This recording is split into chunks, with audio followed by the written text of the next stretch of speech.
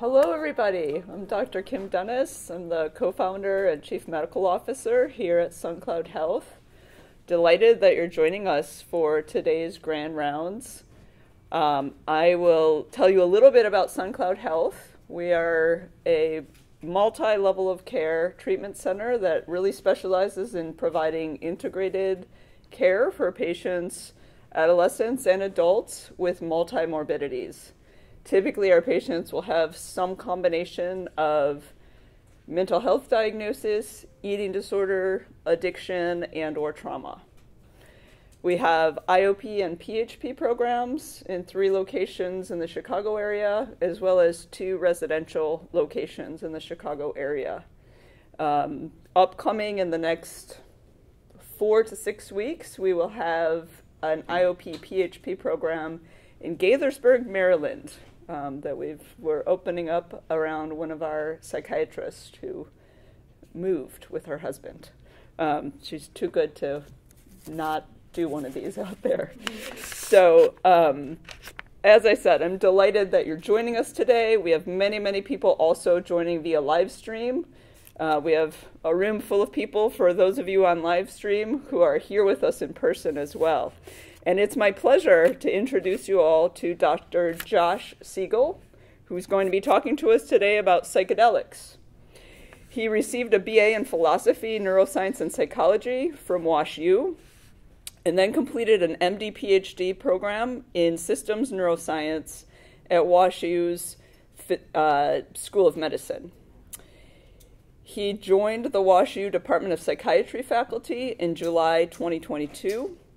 He has 13 years' experience in neuroscience and has published more than 30 peer reviewed articles in the fields of neuroimaging and neuropsychopharmacology. He was a recipient of the NIMH Outstanding Resident Award in 2020. Very, very accomplished clinician scientist, um, neuroscientist at a very young age. He completed training as a psychedelic facilitator with USONA Institute in Madison, Wisconsin. His research really focuses on using human neuroimaging to understand ketamine, psilocybin, and similar molecules that rapidly stimulate homeostatic plasticity. In addition to founding WashU's program in psychedelics research, he serves as a deputy editor at the Journal of Psychedelic Psychiatry created a graduate course named Mechanisms of Rapid Antidepressants, founded the WashU Rapid Antidepressants Journal Club, and served on the advi- advisory board for psychedelic startup companies. Without further ado, I welcome Dr. Josh Siegel.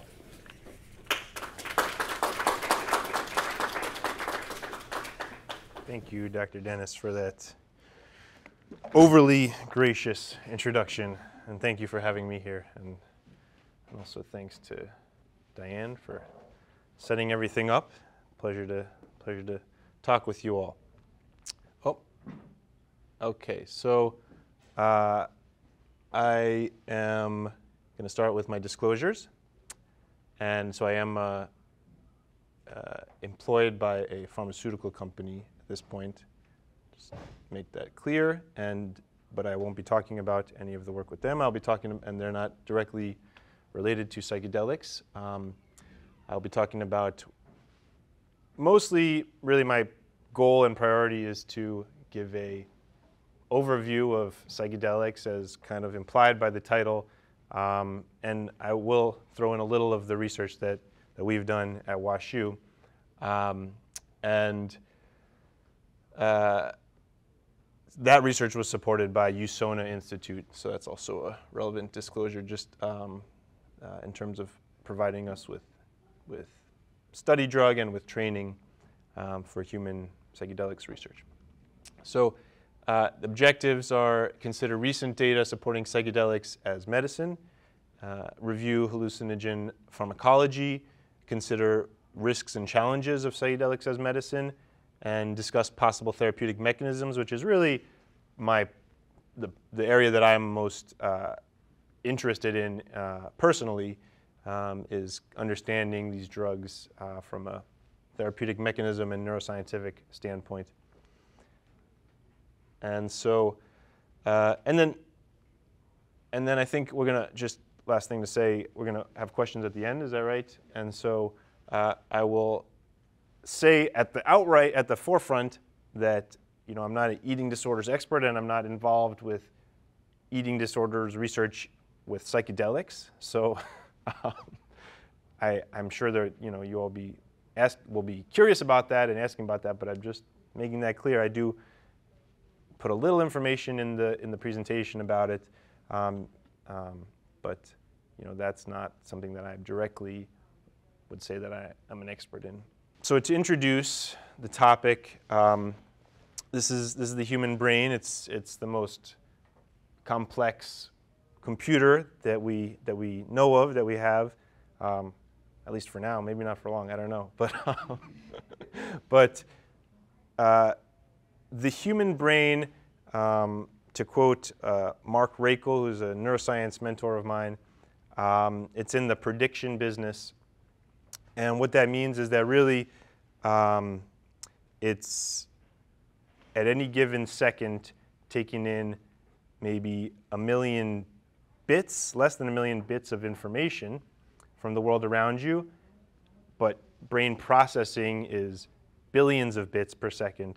So you really have a model of the world, and your brain is constantly using that model to predict what's going to happen, predict what you're going to do, predict, predict how you're going to engage with your environment, um, and just a little bit of taking in, relatively speaking, a tiny bit of information from the environment to kind of update that model. Okay, and and that's how I fundamentally think about the brain. And, and the reason that this is relevant to uh, the practice of psychiatry and to uh, the way that I think about treatment in psychiatry uh, is this that this is, you may have seen some form of this, this is the cognitive behavioral model. Okay?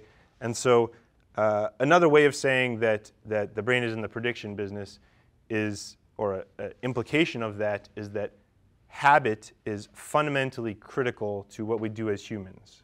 Um, most of what we do is based on habit and based on uh, a cycle of kind of what psychiatrists and psychologists have termed the cognitive behavioral model, which is this cycle and interaction between thoughts, feelings, and behavior. And most of which, as we know clinically, is kind of preset not by necessarily the world around us, but rather by you know, the internal habits um, and patterns that you have developed. And so to, to give you an example of this, um, in depression, anxiety, and PTSD, uh, but really actually, you know, I think you could take a form of this for many psychiatric diagnoses. Um, you have this model which goes something like this. The world around me is a place where hardship and danger wait around every corner, and every new experience is an opportunity for pain. And these are, this is the model that people have developed. And so to, to put that into this cognitive behavioral model, it looks something like this. Um, your, your feeling or your thought, let's say, I'm sorry, we'll start with the behavior, although really you could start anywhere is I'm going to stay home and avoid doing some activity. And uh, your thought that stems from that is, why bother to go out? I'll probably just, you know, have a bad time or get hurt or, you know, be embarrassed. And the emotion that results from that is sadness. And this is a perpetuating, self-perpetuating cycle. It becomes a habit. It becomes an inescapable cycle. And you know, our, our core training as clinicians is, is how do we break people out of this cycle? And I think it's notable that in my training I got very little information about what cycle I'm supposed to put them to, but we know it's not this. uh, so, uh, so hopefully this kind of introduction will, you know, you'll start to see why it's relevant to psychedelics and how I think about, you know, the sort of way that they could be treating psychiatric illness and, and how we would want to be treating psychiatric illness. So I'll put that on hold for a second and jump to some recent clinical data with psychedelics just to give you some reference for where the hope comes in uh, and where things have looked promising. So this is a, um, I think the largest published clinical trial to date with psilocybin. It was comparing three doses of psilocybin, um, 10 milligrams. Let's see, should I, can I use the pointer? I doubt it will show up. That's okay. Um, 10 milligrams, 25 milligrams, 10 milligrams, and 1 milligram, which is effectively uh, placebo. Uh, and it was for treatment resistant depression. It was a multinational study uh, sponsored by Compass Pathways, uh, which is a pharmaceutical company that's pursuing approval from the FDA and other agencies of psilocybin for depression. And it was a single dose, single dose of psilocybin at those doses, and they, and they monitored depression. I believe three weeks was the primary endpoint, six weeks was the secondary endpoint after a single dose. And, uh, and what they found at their primary endpoint, and then you can see the gray line is, is the one milligram, the green is 10 milligrams, the blue is the full 25 milligram dose. And so you see a nice dose response uh, here, and it was statistically significant and a positive result, and a pretty large, I would say, response given that these are individuals who had failed multiple treatments for depression prior to the study. Um, and, and here's a quote. Uh, it's not even from this study, but I think it, it captures nicely some of you know, what I've seen and what's been reported in terms of subjective report uh, of why this is a therapeutic experience. It was a change of state to be stuck in that place of rumination and to be able to move out. It reconfigures you somehow. So, the main question of the back half, you might say, of my talk is what is the mechanism? How is psilocybin in combination with therapy uh, accomplishing that? Uh, but before we go, before we get to that, I will also just give a little, a few other, you know, kind of, this is a very broad overview of some other areas where there's been promising results and, and interest. Um, oh, I'm sorry. Actually, before I go to that, the one other thing maybe worth noti- noting from this study uh, generally well tolerated, generally safe. There was, I think, really one uh, major adverse event related or safety event related concern, uh, which is shown in this table, which is, don't even bother trying to make sense of it.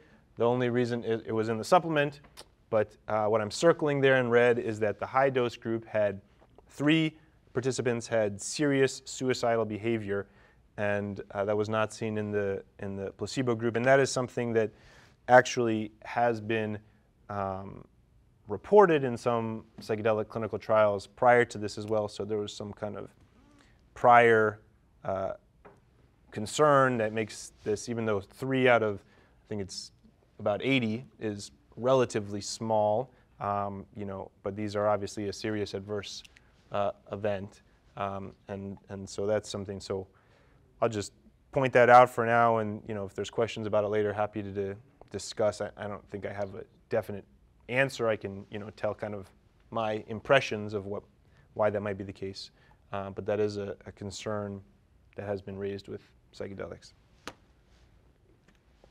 So, um, so as I said, uh, an overview. This is another study that just came out a couple years ago of um, psilocybin for alcohol use disorder, uh, and and they had a about uh, 50 in, in each group, and they used diphenhydramine as a control, which is kind of interesting. Um, another major challenge in psychedelics has been the difficulty with adequately blinding placebo groups um, in, a, in, a, randomized control study. Um, they're almost always functionally unblinded. And I think even in this study, certainly the vast majority, I don't have the number up here, but correctly guessed which treatment they got, which is a serious problem, which I'll come back to a little bit later. Um, but that being said, um, there was a positive primary outcome in this study. A- again, it was uh, this was two sessions of psilocybin or diphenhydramine, unlike the last study, which was a single session, same dose. Uh, oh, actually, this no, was a, this was weight-based dosing, but equivalent to the 25 milligram on average. And the primary outcome uh, was percent of days drinking at 32 weeks after, and this was also two psilocybin doses combined with a pretty intensive um, therapy protocol.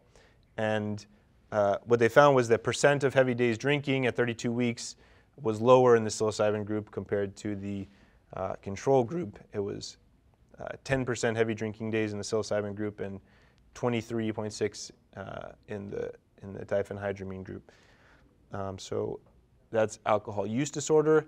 And then the last thing that I've added in here, and I already gave you my disclosure that I'm not an expert in this, but there are there has been a lot of interest with anorexia and with eating disorders, and there are a number of ongoing studies. In fact, there was just a phase one study published a few weeks ago by the university uh, by the UCSD group um, with uh, patients with anorexia with psilocybin therapy.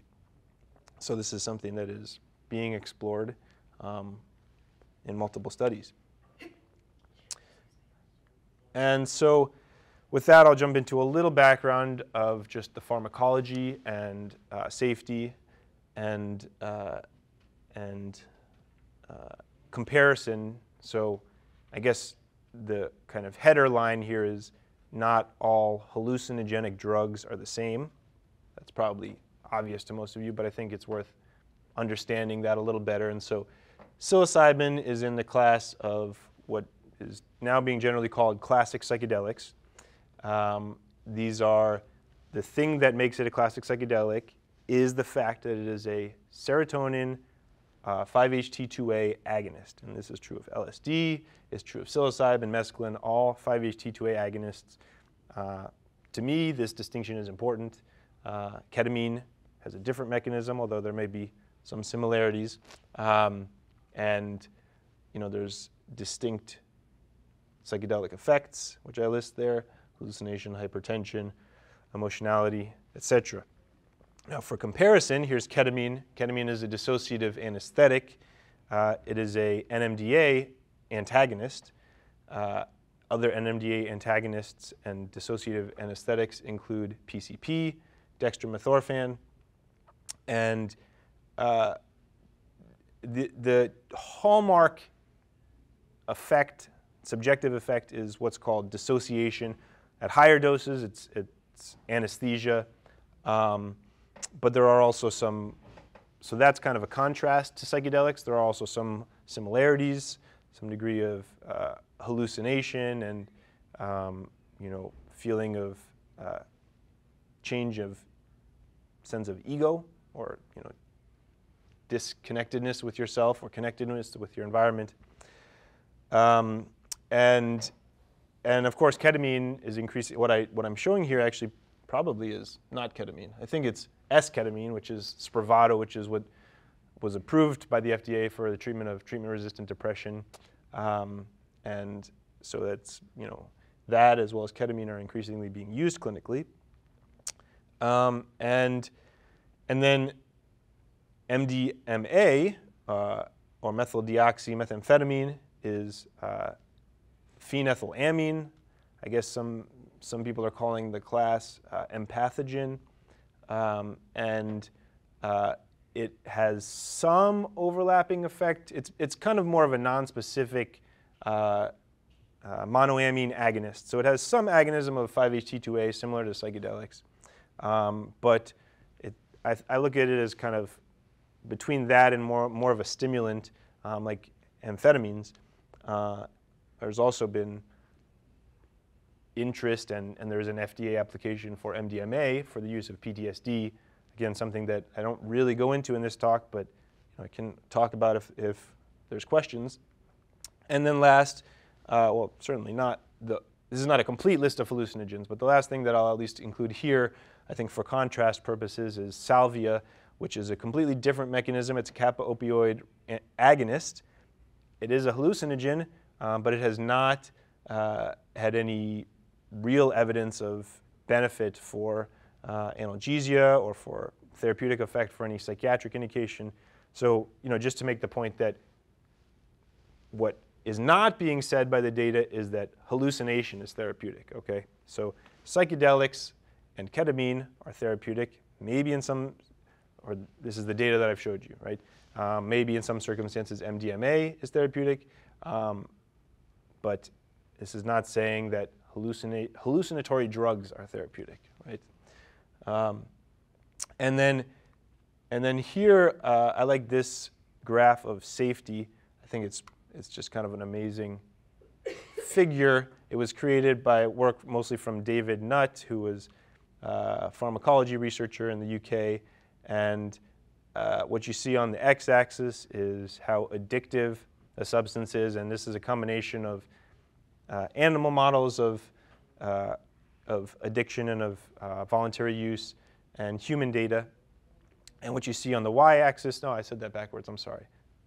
The y-axis is dependence potential or how addictive the drug is. The x-axis is how lethal the drug is, uh, measured by active dose over lethal dose. And, and it's just kind of an amazing graph if you look through it because uh, you can see, you know, up there in the upper right corner, there's heroin. Um, but, but a lot of it is just, it, uh, the reason it's amazing to me is because when you look at this, you get the impression that US scheduling of drugs is not based on anything particularly rational, right? Because you see alcohol as oh, way over there on the right as one of the most lethal and uh, you know pretty addictive, and you see nicotine as as you know basically the most addictive, uh, neck and neck with the, the opioids, um, and uh, and marijuana they're pretty impossible to overdose. Uh, you know, relatively low addiction. Of course, it is worth pointing out these are two important dimensions, but not the only dimensions of, you know, is a drug dangerous or harmful. Um, but the other reason I like this, I'm about to show you, is that here is psychedelics and LSD and psilocybin.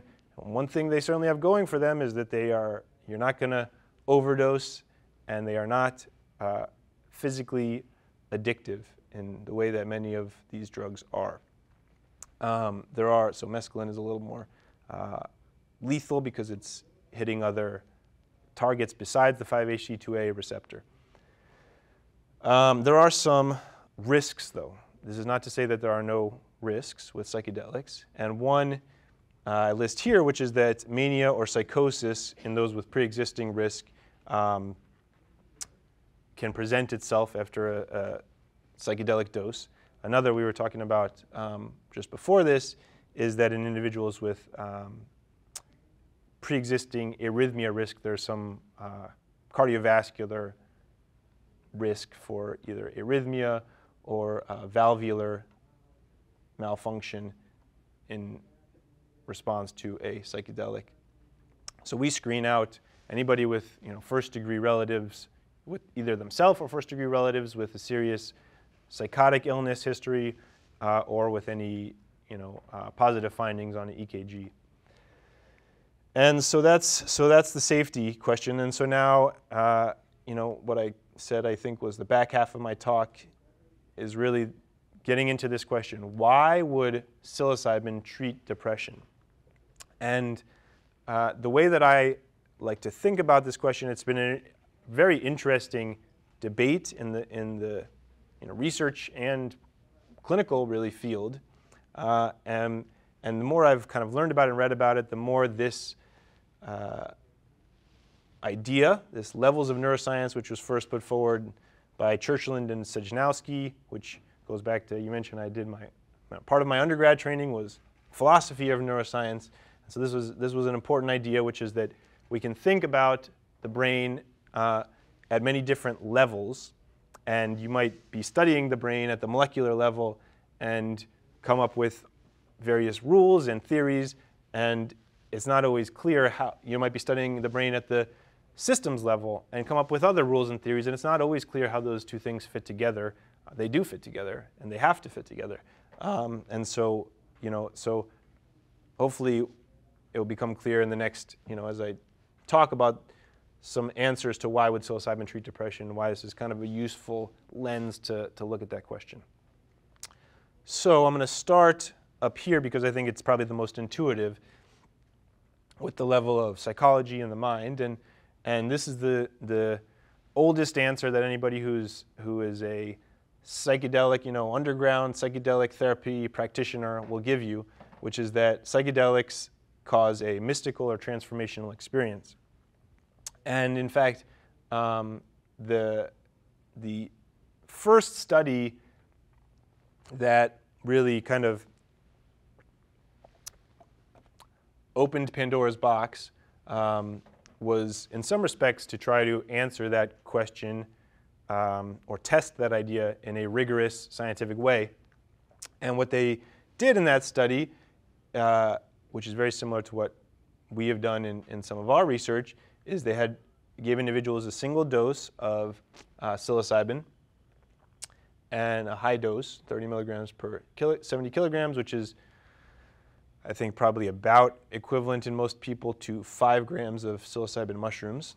And they had uh, two facilitators provide counseling, including preparation before the dose and what's called integration therapy after the dose, as well as oversight and um, safety monitoring during for six to eight hours during the dose. And, and they had volunteers, um, kind of like you see in the picture, with, for the most part, with a mask on, um, headphones on, uh, with music playing, encouraged to have a very internal experience, um, which you know they did for a variety of reasons. The, the simplest is that you're in a research laboratory, and so you know how are you going to control and, and, and create a potentially positive experience for individuals in the setting of you know a, a research setting.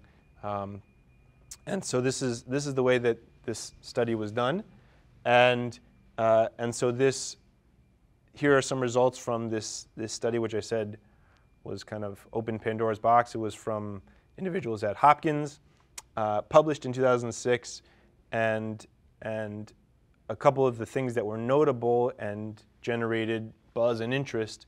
I'm going to show you. One is is they collected data about how personally meaningful was this experience, and they used uh, methylphenidate as the placebo. Course, again, you know, it wasn't as if it was really effectively blinding individuals.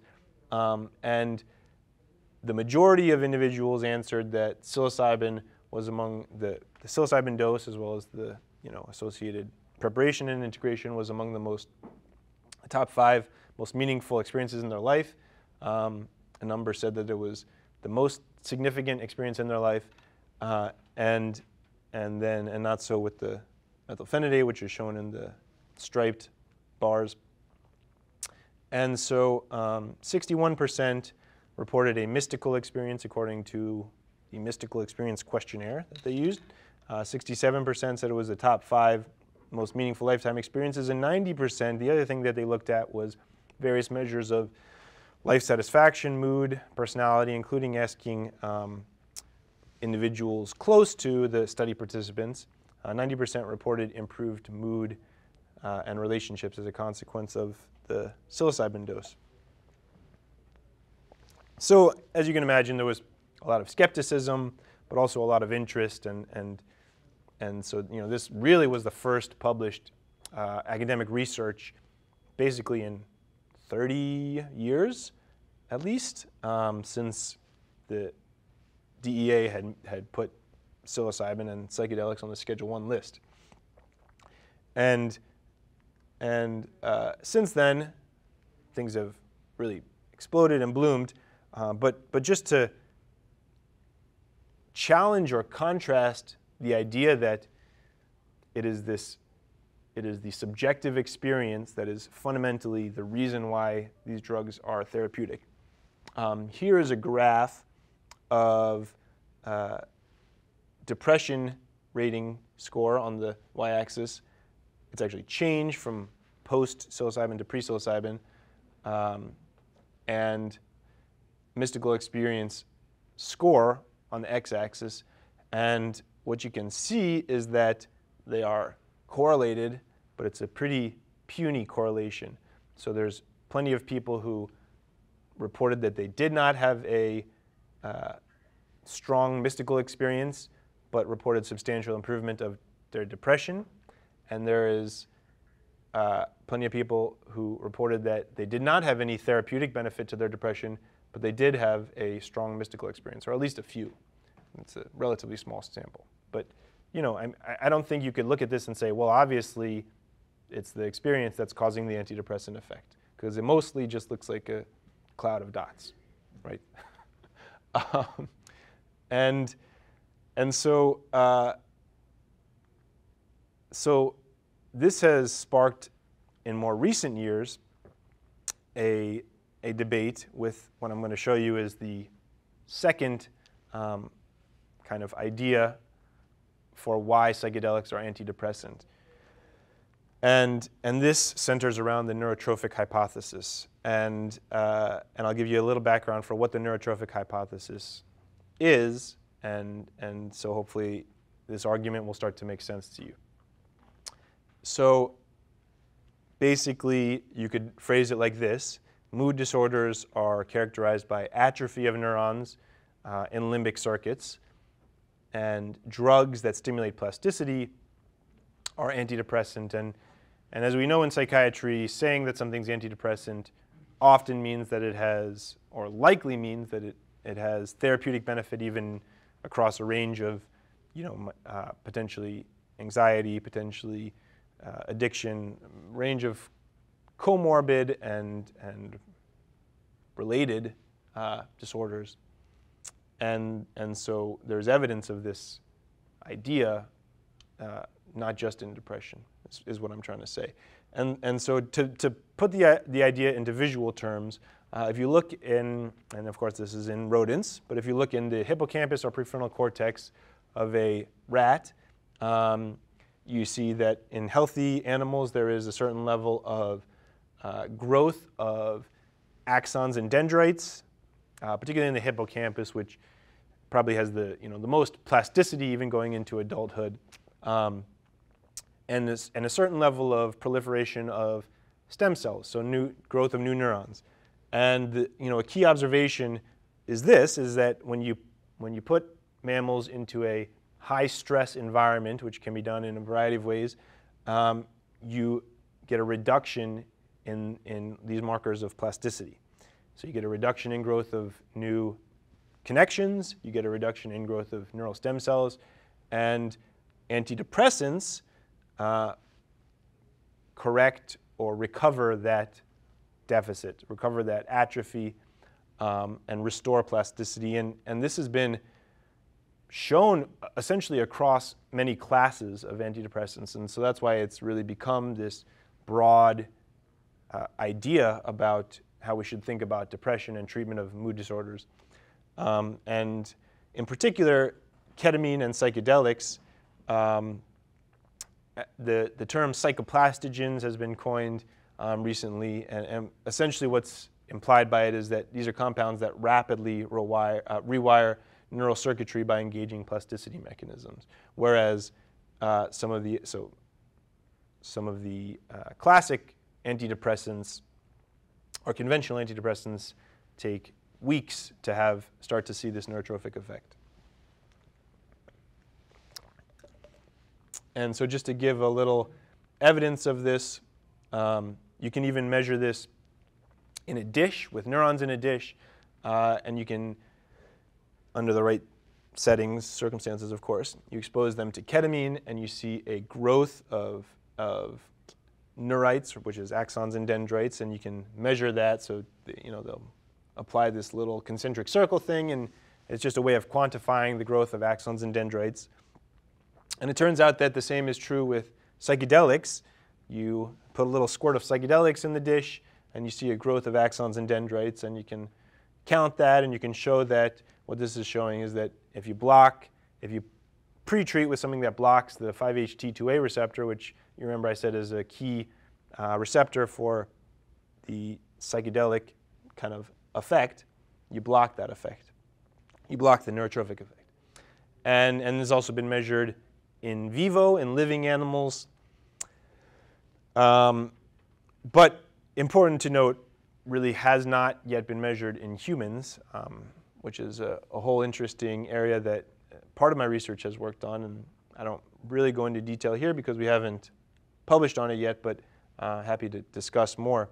Um, but in mice, what you see is that synaptogenesis is necessary and sufficient for the lasting antidepressant effect of ketamine and psilocybin. So you block, so there's these cool optogenetic studies, you block the formation of new synapses and you lose the antidepressant phenotype of ketamine in, in rodents, um, suggesting that it is very therapeutically important to the therapeutic mechanism. And, and just to briefly touch here on what has become a very uh, high interest area of research, uh, it turns out there's been, there's been a few high profile studies in the last few years showing that, in fact, you can take uh, psychedelics and slightly modify their structure uh, so that they produce the neurotrophic effect without producing, at least it looks like in, in animal models, uh, without producing the hallucinogenic effects. So these are being termed non-hallucinogenic psychedelic analogs. And, and uh, I know at least a number of uh, pharmaceutical companies are betting on trying to develop these drugs, um, which, as you can imagine, might have applications in settings or in individuals who a psychedelic would not be an ideal treatment choice. Uh, and then, and then I guess I'll just point out, since uh, I was asked about it, we talked about it a little bit beforehand, is that uh, there might be actually some similarity in terms of the mechanism of why and how these drugs are working with, with the idea of microdosing psychedelics. Um, but it's an ongoing science. And so what I've showed you so far is that, you know, there's those who argue that it's this transformational experience with psychedelics, um, and then there's those who have argued that it's the neurogenesis that is why you know these seem to have antidepressant effects. Um, but but and and these two ends of the spectrum have kind of clashed, and and really it's created a kind of interesting debate actually. Um, but uh, but but I think an important question is you know, how do these two things connect? Do they connect? What is, how do they relate to each other? What's going on in the middle level in terms of how brain systems and cognitive systems are relating, you know, connecting to the neurotrophic effects at the molecular level and to the, you know, subjective experience at the, at the kind of systems or cognitive level. And that's really the focus of my research. So I will take a, a little time to talk to you about the research that I've been involved in at Washington University. And so um, we have just uh, finished this study recently, which was psilocybin precision brain, brain mapping, where we took a group of individuals. It's important to say this, this study was healthy adults without any major psychiatric illness.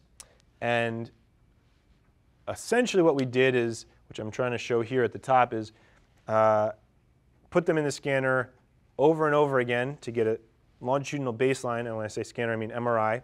So we looked at resting state, functional connectivity. We looked at a few different other measures. We had them perform tasks.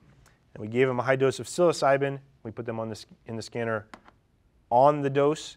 And then we also imaged them for a few weeks afterwards um, so that we could really take this approach in which we are individually mapping the brain connectome and uh, looking at brain networks and, and use it to get a much more sensitive and higher resolution answer to how psychedelics might be changing the brain both acutely and in the weeks after a high dose. And we also used methylphenidate as a control, uh, mostly because it, it, we can match some of the arousal effects uh, just the sympathetic arousal effects of, of a psychedelic. And so these are some of the individuals who worked on this study with me.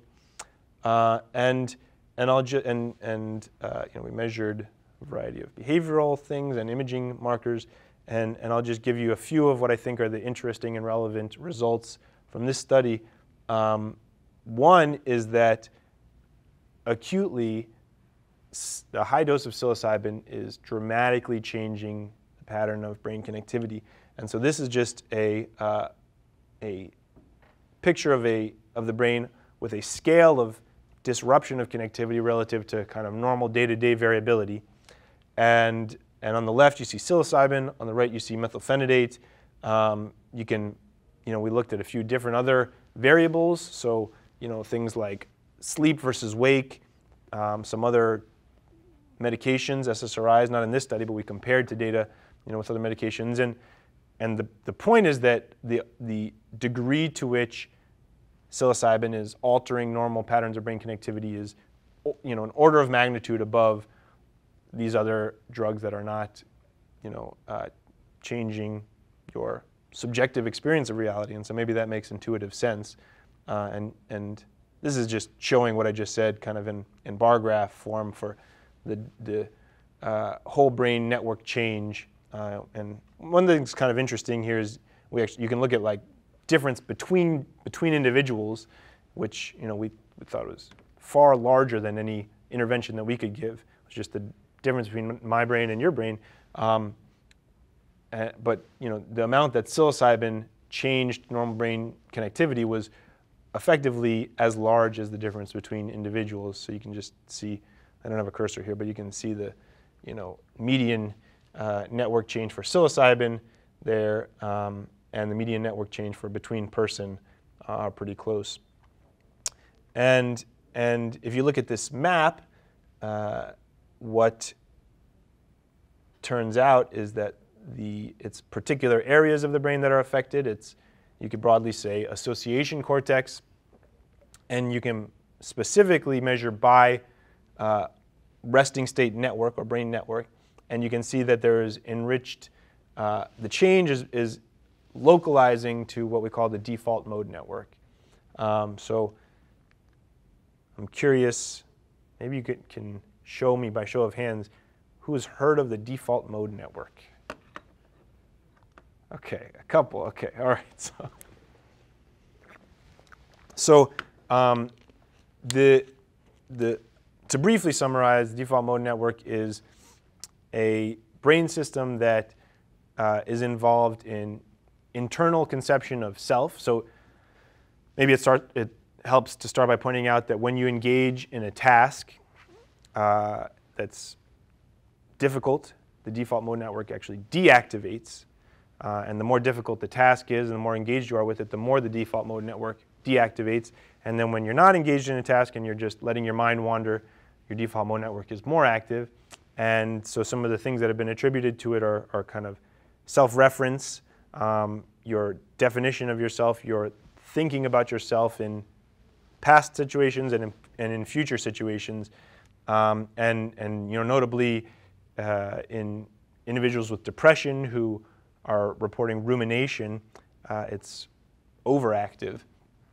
Um, so there has been kind of interesting relevance to disease. And so what we see is that specifically psilocybin is, uh, is totally disrupting and actually desynchronizing activity in the default mode network. Um, and, and it's also notable that uh, it has, the default mode network has strong connections with the hippocampus, which uh, you know, has roles in memory, has roles in a number of things, but um, spatial orientation, um, and, and in particular the anterior hippocampus. So I'm showing the hippocampus there uh, at the bottom of the brain there, the red and blue thing, that's a hippocampus. And, uh, and the red part is the anterior hippocampus, the blue part is the posterior hippocampus. And the reason it's colored red is because uh, it is highly connected with the default mode network, which I'm just showing a little snippet of the default mode network in the, in the uh, posterior cingulate cortex there. Um, and the role of those connections uh, is, is believed to be self-oriented uh, memory function basically. Um, so your, you know, some of the things I talked about with remembering your role and your place in past events, um, and in, I think in present events as well. Uh, and, and so here, if we just look using the same color scale that I showed in the last slide for brain network disruption, um, just look, zoom into the hippocampus, um, the top little oval is the left hippocampus um, disruption acutely during psilocybin, and the bottom oval is the disruption on average for two weeks after, or when I say disruption, maybe that's not a great word, but the change from pre-dose levels in the two weeks after psilocybin.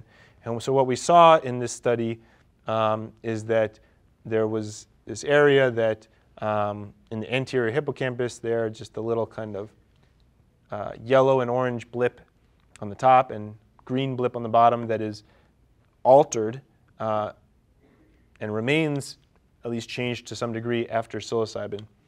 And, and here's kind of a, a time course of connectivity between the anterior hippocampus, this is the whole anterior campus, not just the little blip that I'm showing. If you just take kind of, um, without using priors, the anterior hippocampus and look at the connectivity with the default mode network, um, what you see is that I'm showing individual subjects um, in different colors here, so sorry it's kind of a lot to look at. Um, but I've lined them all up so that their psilocybin dose was at day zero, and uh, pre-dose is negative on the x-axis and post-dose is positive. And, and so you have kind of baseline connectivity between the anterior hippocampus and the, the cortex, specifically default mode network. And then after the dose of psilocybin, there appears to be a decrease uh, in those connections. And uh, by we had individuals come back a year later or six months to a year later and do an additional psilocybin dose. And so by the time they come back, so this first, uh, there's no way to point, but the first black dot on the right is the six month after baseline. And so connectivity has returned at, at six months later between the default mode network and the hippocampus. And again, with the second dose, it decreases again. So hopefully that, that makes some sense. And, and so, you know, I, I will just say that this is, this is a theory, and, and I don't have good evidence. I mean, it's not a theory, there's, there is a statistical effect, but I don't have good evidence for what exactly, you know, how you should interpret the fact that psilocybin is decreasing the connection between the hippocampus and the default mode network. But it is something that we observed, and, and you know, it's, it's of particular interest because as of now, there's really no human neurobiological data about how a psychedelic might have persisting effects on the, on the human brain and what those might be.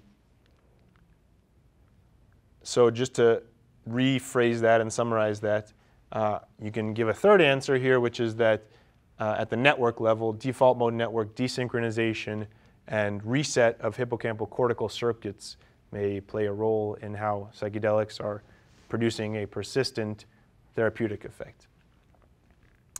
And, and uh, I want to finish just by uh, pointing out some risks and concerns and kind of weighing the balance uh, and you know, looking forward at where things are going with you know, the field of psychedelic research and psychedelic therapy. So a couple of the major concerns, as at least from my standpoint, are that I've mentioned. One is the lack of adequately blinded and controlled clinical trials, uh, which is not to necessarily fault the researchers, but just to say that it's a very difficult challenge in doing clinical research with psychedelics. Um, which relevant, relatedly, the high risk for placebo effect due to suggestibility and selection bias. And so the reason I add put this slide in addition to the, the prior one is to remind myself to just kind of break down what I'm talking about with why is it concerned that individuals might not be blinded. Um, so here's how I think about it.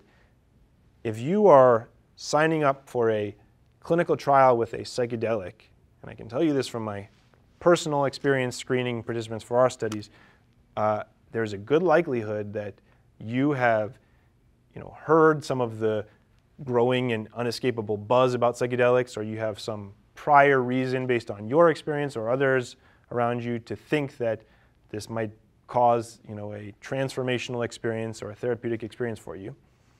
And when you combine that prior uh, expectancy effect with uh, a study in which you know you're going to know by the end whether you got, uh, or at least you're going to probably be able to guess whether you got the active drug or the placebo. um, you're in a situation where you have a serious risk for um, you know, a confound that's kind of inflating effect size of psychedelics clinical trials. So you know, I, I think it's really worth thinking about that. Um, and uh, and then you know another point which I haven't really touched on is is just that uh, we're likely looking at a scenario where uh, psychedelics will be approved and by the FDA within the next few years for depression, if not some other indication. Uh, and uh, even if that's not the case, we're looking at already a scenario where they're increasingly decriminalized and available, and uh, and or being made available for medical use. Uh, but there's not really a clear path to clinical implementation. Um, it's a you know the studies that have been done have a demanding protocol that's not necessarily scalable. Having two therapists sitting for eight hours, as you can imagine, is not very practical in addition to preparation and integration therapy. Uh, and then, you know, also just a bigger challenge, which is even outside of the medical context, um, you know, as these drugs become increasingly available and accepted, uh, how do we fit them into our society? Um, so I think those are some of the challenges that are going to be really important to address. And then, and then, you know, I'm ending with a SWOT diagram, which I think is just kind of a, a nice way to put together and summarize um, a lot of the things that I've touched on. Um, so, you know, just to quickly go through it, how am I doing on time? Um, the, some strengths are that things have looked very positive in, in many of the trials that have been done over the last uh, decade um, with a, even a single dose of psilocybin, which would be a huge benefit or positive compared to having to take a pill daily or multiple times a day for indefinitely. Um, in terms of safety, in terms of having a, you know, a lethal overdose or a, a um, serious adverse event, um, psychedelics look pretty safe under the right circumstances. Um, and they're able to evoke behavioral change, which I think is you know, of huge potential value. Uh, some weaknesses, as I mentioned, administering the therapy is time consuming for the participant and for the provider. Um, it requires specialized training to facilitate. Um, blinding has been a major challenge, and certainly you know, they will not be of interest or uh, available or safe for everyone. Uh, I think there are still unexplored, you know, depression has been the first kind of, we'll say, frontier, um, but there are potential other avenues, including interest with eating disorders. Um, and then, you know, I think it'll be interesting to see where these non-hallucinogenic analogs go. Uh, and some threats and questions are, are as of now, is, these are still DEA Schedule One drugs. Um, and so, you know, it's unclear what, what's going to happen with that. Um, they're difficult to patent, which is both a pro and a con. Uh, from the threat standpoint, it makes it harder for a company to go through all the work that it takes to make sure that they're creating a safe uh, and you know well manufactured and accessible treatment um, because they don't have the financial incentive to do that. Um, and, uh, and we, you know, an important question is still kind of understanding what makes psychedelics effective and when. Do you need the subjective experience? You know, how often would individuals need to be redosed, for example, um, if they had a psychedelic treatment with a positive um, response? And, and, you know, a big question that I am particularly involved with is what does plasticity in a rodent brain what does that mean? You know, how obviously does that, how does that relate to humans, to the human brain, to the human experience?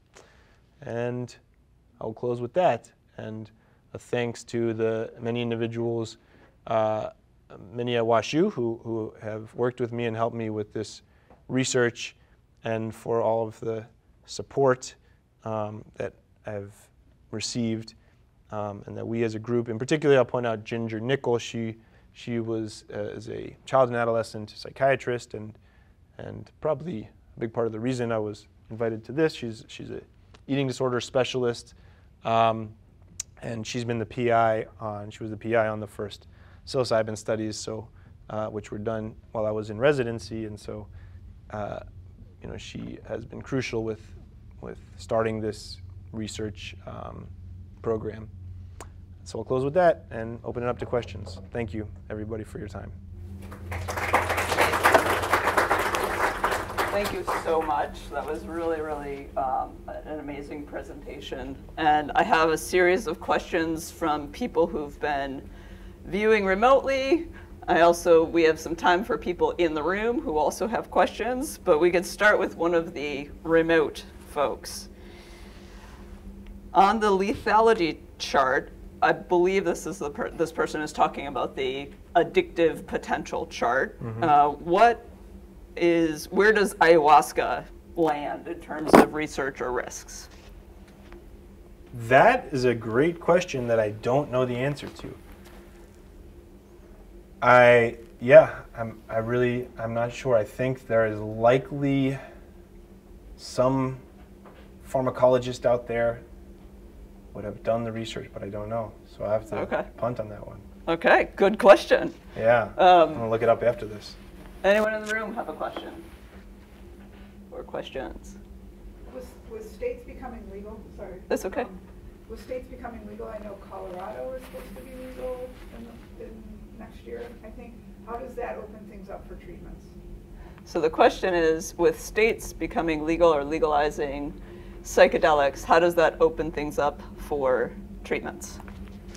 Yeah, and, and it's a great question, and and this is something that I've I have been involved in. We, I did a fun side project with um, some folks at the WashU Law School, kind of reviewing the uh, the uh, legislation, both proposed and passed um, from different states um, for psychedelic decriminalization, and and I'll tell you one of the one of the major things that stood out from doing that uh, was the fact that every state is basically doing their own thing and has set completely different standards um, for what is what does decriminalization mean. Mean some states have just, you know, uh, either put forward or passed legislation to deprioritize uh, prosecution of, of psychedelic-related offenses. Some states have, you know, uh, uh, created this right to try system, which really I think was following in the steps of what has been done in, in with decriminalization of uh, cannabis. Um, and and so there's been this, and then you know Oregon is like one end of the spectrum where they built this very detailed, comprehensive uh, piece of legislation and associated, you know, uh, plans to create actual um, treatment, you know, systems, including growth uh, or uh, I think growth of psychedelic, of psilocybin mushrooms, you know, standards for testing purity, standards for certifying therapists, um, and then other states have really are at the other end of the spectrum. And my understanding of the of the Colorado legislation is that it is much more minimal and is has said that these drugs will be decriminalized, meaning that uh, they, you know, police cannot prosecute somebody for possession of psychedelics. Um, but I think that in and of itself is not likely to uh, do a lot to build, um, directly at least, build medical treatment with psychedelics, um, you know, because there's a whole other host of risks, challenges, concerns, uh, questions. Uh, what, it, what it may do is enable research that wasn't being done otherwise, um, which is kind of considered a, a step towards making these clinically available. So make it easier, for example, less barriers to doing clinical trials, like some of the ones that I'm involved in uh, in Colorado. Um, but, but really, I think you know there is there is this whole other side. There's decriminalization, and then there's medical treatment. And um, you know, this point, we're like, what word do I want to use? A hodgepodge of where states have the road that states have gone down, and, and it's an open question as to how will that progress? How will the federal government at some point change regulations about psychedelics that you know I think we're waiting apprehensively to, to see the answer to. John, Jones. Um, yeah, so at, at the dosing that you're using in these trials, the 25 milligram, um, and, and I'm asking because in working with adolescents, I'm seeing an, an unfortunate increase in, in the amount of cases of HPPD, um, the hallucinogen persistent perception disorder. Are you seeing any, like, any, any of this? I mean, you're, you're following some of these patients long term during six months after, like, are, have you seen any increase in like pre- prevalence incidence of, of this? So the question is, um, and this is from one of our child and adolescent psychiatrists, who's seeing more cases of hallucinogen, um, persisting perceptual disorder, um, which is very apropos. The Monitoring the Future uh, report just came out showing that increases in hallucinogens are on the rise in adolescents, but also the biggest at historic levels for 35 to 50 year olds, right? Are you and your research subjects seeing any HPPD at your longer term follow up? Yeah, no, it's a great question. And the answer pretty categorically is no. Um, and, and this is true not just in my participants, but really across clinical trials that have been done. I kind of broke down how they've been done and the screening criteria, which includes excluding individuals with you know, self or first degree relatives with um, psychotic disorder history. Um, and this, and, and so I think that is part of it. And let me finish what I was saying. There has been no uh, reports in follow-up, which to, for, the, for the most part, there has been pretty careful you know, follow-up and screening for because of concern of HPPD. Um, and there's been no, no incidence of it. And, and so then the second question is, is why would that be the case and why would it be that you're seeing it uh, in, in some individuals, but it's not being seen in clinical trials? And I think there's two, to me, reasons. One, one I just stated, which is excluding risk, individuals would be higher risk.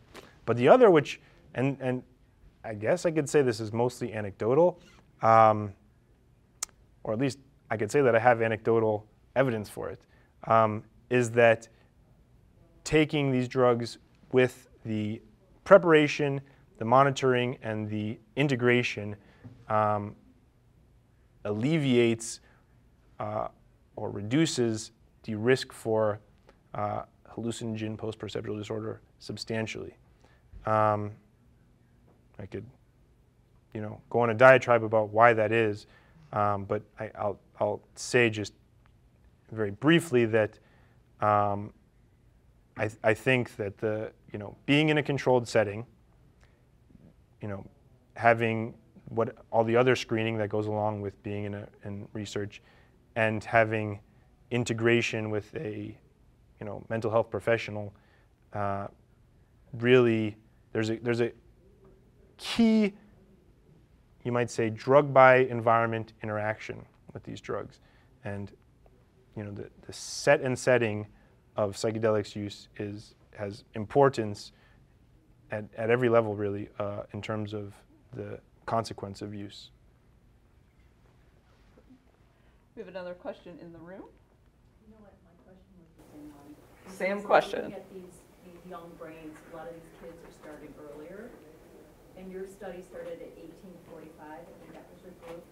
Is there a difference? Can you break out, because we're still looking at the brain still developing till twenty-five. Is there a difference between those groups?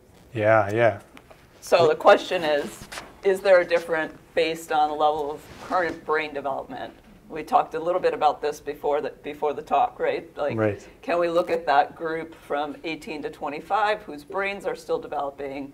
Are there differences in effect uh, directly on the brain or on behavioral phenotypes post psychedelic treatment for that subgroup whose brains are still developing and people who are 25 and older? Yeah, yeah. We, so we had a good conversation about this right before this, and and and I think it's a great question, and uh, it's maybe I should have listed it on my open questions because really there is so I don't believe there's been anything published in individuals under the age of 18 being given psychedelics in a controlled experimental setting, and really there's been minimal, I think, analysis even in 18 and up. You know, if there is, I think it's very possible that and likely that you would see differences in how it affects a 19 year old brain versus a 50 year old brain, um, but we don't know the answer yet. So it's one of the things that will be important to find out. Here's another one from afar. Have you seen the photos of Timothy Leary's brain after he died? Uh, okay. No. No. Um, but I will say, tangentially related to that, that, and this is a real tangent, uh, there, there was this famous picture,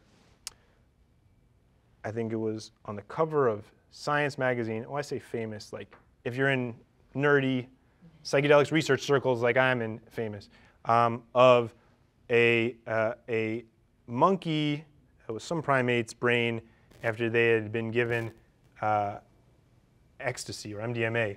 And it's got like these little holes in it, and it's like, you know, this is your brain on drugs sort of thing. And, uh, and, and then if you look at the study, which I think was ultimately retracted, um, but what they had done was give these primates very high doses of MDMA repeatedly for many days or weeks even.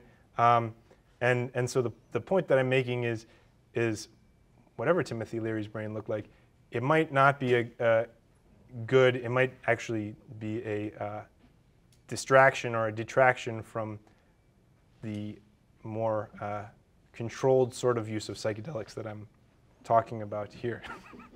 Yes. so maybe he looked like the monkeys. I don't know. I'll have to go look it up afterwards.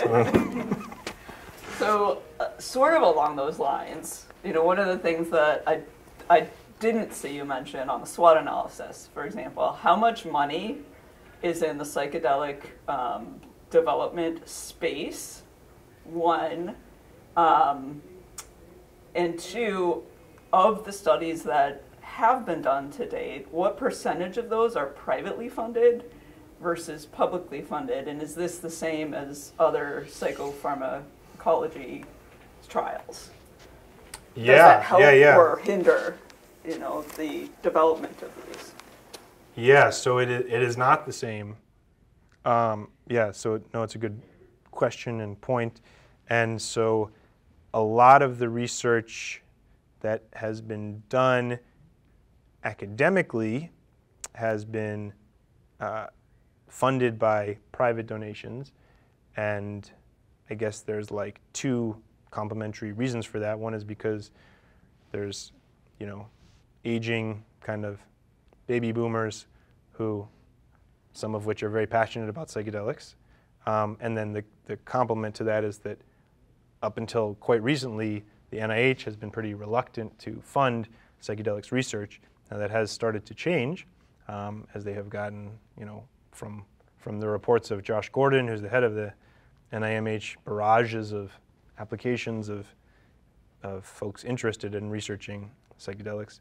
Um, but uh, yeah, but much of the research has been privately funded, um, and and there is also, in complement, has been quite a lot of investment in the private sector, and this was like you know this was it was kind of wild for me to watch over the last few years. There was a bunch of a number of psychedelics startups um, that you know would kind of op- that would uh, IPO as publicly traded companies offering whatever idea for psychedelics and and kind of be inflated to be worth like you know hundreds of millions of dollars. And it, it, it didn't and still doesn't to some degree make sense to me um, why that was. I think there part of it is just that there's been a lot of interest. Um, a lot of that has maybe come down to earth now um, for a variety of reasons, one of which I mentioned, which is that uh, you can grow a psilocybin mushroom, so you're not exactly creating novel IP by patenting, trying to patent psilocybin. Um, and I also just think, uh, you know, this is my investment advice to all of you out there.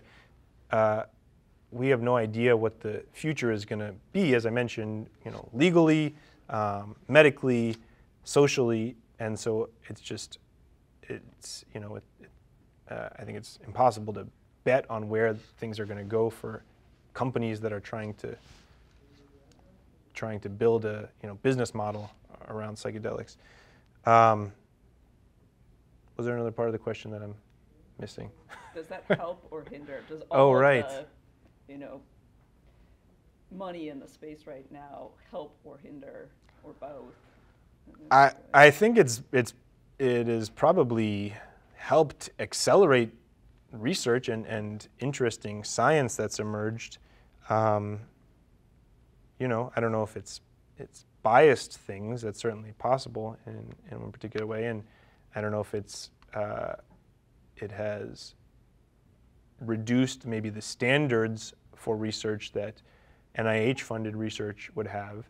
And so part of the, you know, I think that might be a part of the reason that, that I mentioned this kind of lack of well-controlled studies. Part of the reason is just the fundamental fact that it's difficult to design well-controlled, well-blinded uh, studies with psychedelics, but I think probably both of those have played a part as to why there's been so really few. Right. Can I ask one question? Yep. Do you see a, a or is it just an acceleration of stigma and misinformation when the entrepreneurial people like Tracy T are out there, you know, talking about, you know, at, at a, a truly layperson's level, mom to mom? Do you have opinions about that? Is it, yeah, I'll stop there. So the question, I believe, is do you have opinions about whether it hinders the progress if you have private industry talking directly to consumers, directly to moms, you know, directly to dads, directly to patient, potential customers? Um, does that make things worse as far as when you're looking at scientific progress and medical progress, right? Different, as you said, from legalization, like legislature, lawmaking versus medicine. So, any opinions on does that help? Does that hurt? Yeah, well, um, I just started watching this documentary on Netflix called Painkillers. and uh, it's about Purdue Pharma selling OxyContin. So that's the thing that first comes to mind when, when you ask that question.